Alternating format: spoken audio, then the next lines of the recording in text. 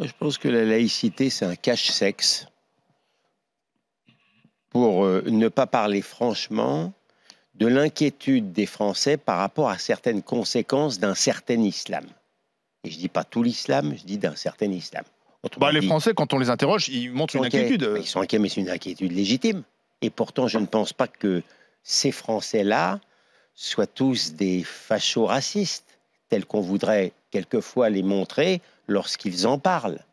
Donc c'est un vrai problème. Est-ce que cette inquiétude est légitime? Bah oui, cette inquiétude. Beaucoup disent oui, mais c'est une créature médiatique, euh, on en parle non, trop. Non, mais non, mais, oui, bah, tu, en même temps, j'ai été regarder un peu, mais, ces enquêtes, en fait, elles ne bougent pas. Depuis des années, les Français disent la même chose. Si on veut parler, si on veut parler vrai, il y a des sujets qui tournent autour de l'islam et d'islamisme qu'on ne veut pas aborder de front. C'est pas tellement, moi, je pense, le problème de la laïcité, etc. C'est bah, D'abord, il y a le problème de l'islamisme. Hmm. la montée de l'islam politique et les menées des frères musulmans. Ça tourne autour de l'islam, mais ça n'est pas que l'islam.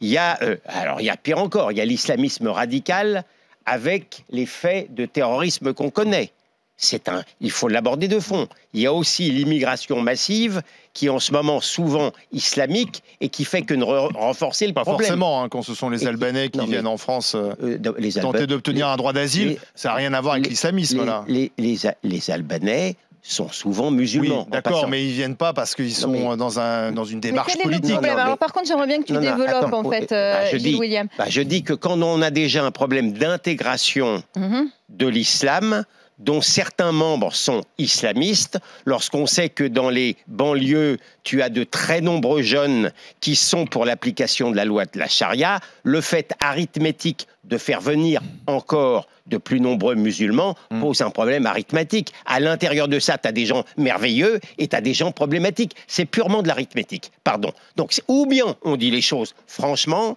or on a un président de la République qui dit tout et son non, il dit à bas bruit, lui, il travaille à bas bruit. Il dit tout, il dit tout et son... J'aime bien cette expression, à Ce garçon dit tout et son contraire. Il y a 15 jours, il était pour une vigilance maximale et ça pose des problèmes parce que dès que tu vois un type avec un, pantalon à mi-mollet, tu le regardes de travers. Le, 15 euh, jours après, il nous faisait tout un truc sur la stigmatisation. Je n'ai vu aucune stigmatisation véritable. Ce garçon dit tout et son contraire, donc je n'attache absolument aucune importance à ce qu'il peut dire.